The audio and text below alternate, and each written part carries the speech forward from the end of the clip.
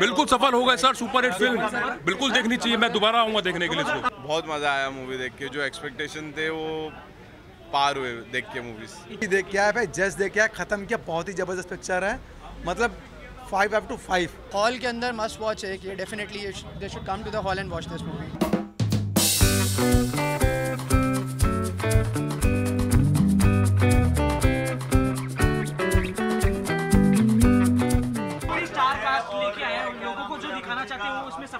बिल्कुल सफल हो गए सर सुपर हिट फ़िल्म। बिल्कुल देखनी चाहिए मैं दोबारा आऊँगा देखने के लिए इसको। अमिताभ सर सर सर सदी के महानायक है वो सदी के महानायक है उनके लिए कुछ नहीं कहना उन्होंने फिर से प्रूफ नहीं किया उन्होंने बता दिया उन्होंने वो सदी के महानायक थे हैं और रहेंगे। सब एक सब सब एक नंबर सब एक नंबर हाँ? सॉन्ग वगैरह भी अच्छा लगे हमें। पाँच में से पाँच। मौसम मौसम मौसम बहुत प्यारी फ़िल्म बहुत प्यारी फ़िल्म है। इतनी बड़ी स्टार कास्ट के साथ जो दिखाना चाहते थे उसमें सफल होंगे? बिल्कुल सफल हुए यार। हमारी मतलब ये फ़िल्म हॉलीवुड को भी टक्कर देगी। हॉलीवुड भी मुझे लगता है कि बहुत प्यारी फ़िल्म है। बच्चन साहब ने बहुत प्यारा काम करा है प्रभास ने बहुत प्यारा काम करा वी राइटर ने जो इतना प्यारा स्क्रीन प्ले लिखा है ना वो मतलब कि मैं सोच भी नहीं सकता कि हमारे यहाँ के राइटर इतनी अच्छे कंटेंट को बना रहे हैं। Appreciable film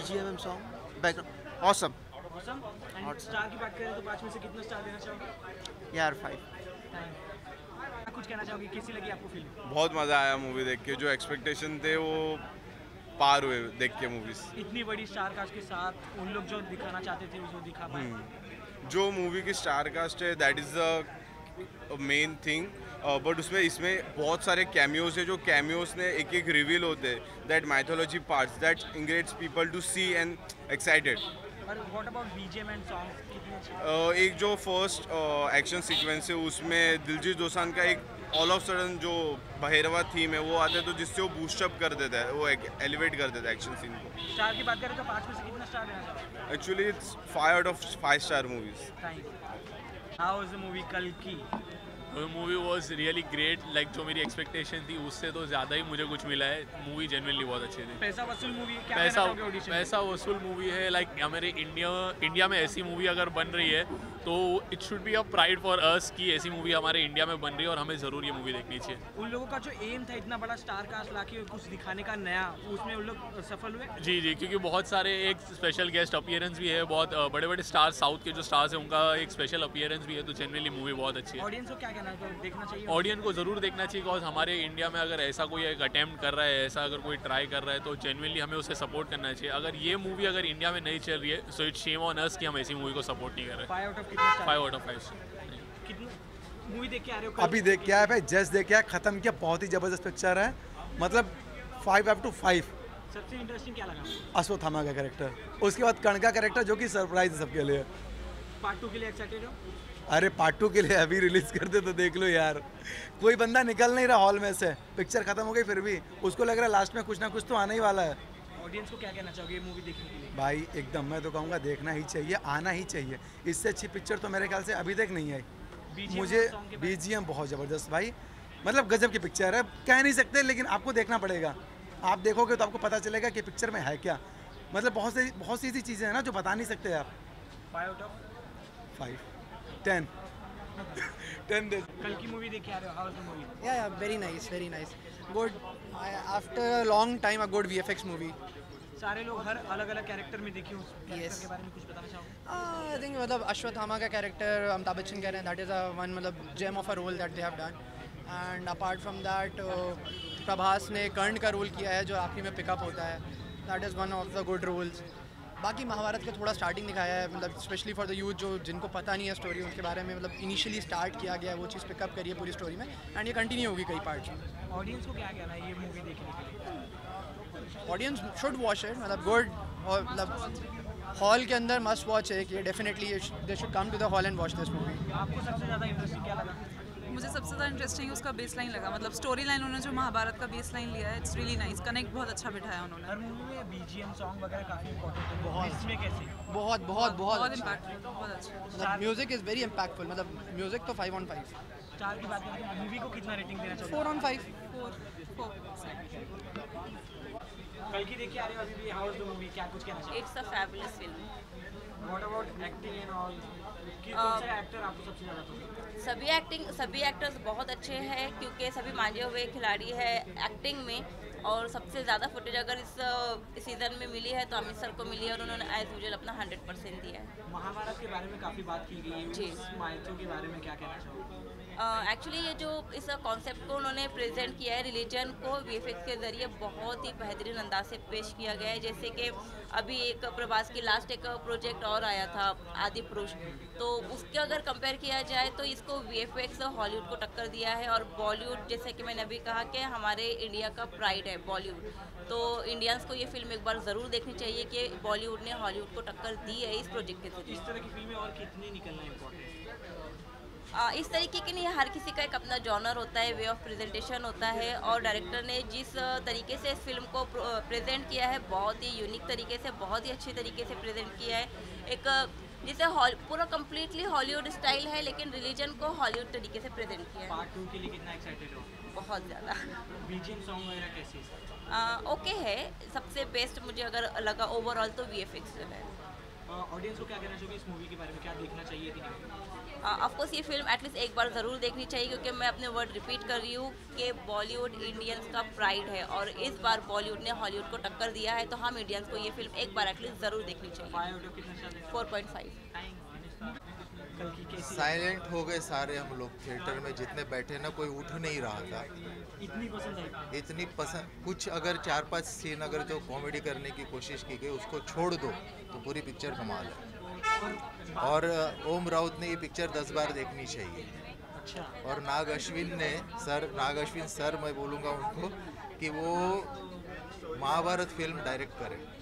इस तरह की फ़िल्में और महाभारत वो डायरेक्ट कर रहे हैं उन्होंने ही बनानी चाहिए नाग जो हुआ है फ़िल्म कमाल है। इस तरह की फ़िल्म और निकलना कितना इम्पोर्टेंट है? टेक्निकली बहुत स्ट्रांग है मूवी बहुत बढ़िया बहुत बढ़िया। और गाना इसके म्यूज़िक बीजीएम बीजीएम तो क्लास है जो टेक्निकली हर चीज़ से हर तरह से बहुत बढ़िया हो गई। और इतनी बड़ी स्टार कास्ट जो दिखाना चाहते थे और सबसे पहले तो मैं, मैं बहुत शुभकामनाएँ दूँगा अमित जी को कि जो अश्वत्थामा जो साकार किया है उनके अलावा कोई नहीं कर सकता। फोर पॉइंट फाइव यस कल की देख के आ रहे हो आप क्या कुछ कहना चाहोगे किस तरह की मूवी लगी? सर कल के एक बहुत ही एक अपना ट्रेडिशनल जो कहानी है महाभारत की, जो उन्होंने एक नए रूप में प्रेजेंट की है इसमें, जिसमें एक अश्वत्थामा को जो शाप मिला था श्री कृष्ण जी ने दिया था कि जब जब इस धरती पे कुछ अनिष्ट होने वाले होते तो विष्णु एक नया अवतार लेने के लिए आते आते हैं। तो इस, कृष्ण ने उनको शाप दिया कि तो इस बार उनको इस शाप से मुक्त होने के लिए उनको प्रोटेक्ट करना है। तो इस स्टोरी लाइन पे ये कहानी उन्होंने लेकर शुरू की है। और अश्वत्थामा को अमिताभ बच्चन ने प्ले किया है, और प्रभास, दीपिका पादुकोण जैसे तगड़े अट्रैक्टर है तो हर रोल में हर किसी ने एक अच्छी जान डाली है। तो सबसे इम्पोर्टेंट बात इस मूवी की ये है कि बहुत ही अच्छे स्पेशल इफ़ेक्ट्स हैं। एक जो विजुअल्स देखने के लिए हमें मिले हैं, इस मूवी में बहुत ही अच्छे विजुअल्स हैं इस मूवी में। मतलब तीन घंटे की एक मूवी में कभी भी हमें नहीं लगता कि हमें कहीं पे बोर हो रहा है या हमें उठना चाहिए या कहीं बाहर जाके आना चाहिए, ऐसे कुछ नहीं लगता है। स्टार्ट टू एंड एकदम अच्छे से ग्रिप बनाए रखे हुए मूवी में। और स्पेसिफिकली ऐसी क्या चीज़ है जिससे ऑडियंस को ये मूवी देखने आना चाहिए?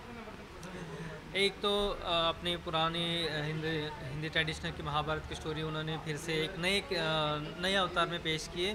दूसरे तो एक अच्छे, एक बहुत ही अच्छी बॉलीवुड मूवी बनी है, जिसमें हर किसी ने मेहनत की है और लगता नहीं कि बॉलीवुड मूवी हम देख रहे हैं, इतनी अच्छी इफेक्ट्स और ऐसे नहीं लगता कि कुछ ऐसे कहीं पे भी डल नहीं लगता और एक हाई क्वालिटी का जो स्पेशल इफेक्ट्स जो हमें हॉलीवुड मूवी में ही देखने के लिए मिलता है। इस बार इस मूवी में देखा इतनी बड़ी स्टार कास्ट के साथ ये फ़िल्में देखना वो कितना इंटरेस्टिंग लगा आपको? बहुत ही इंटरेस्टिंग लगा और इसीलिए इसे भी ये भी उनका मेजर पार्ट भी रहेगा इस मूवी में हिट बनाने में। पार्ट टू के लिए कितना एक्साइटेड हो?